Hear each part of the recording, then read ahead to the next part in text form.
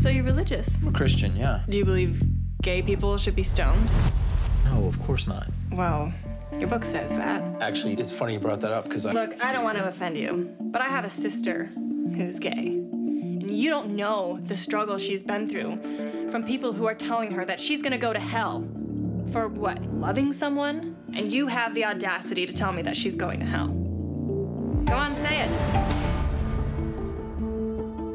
Oh, we're getting our application for our marriage license. Are you a bike messenger? Yeah. What's your message?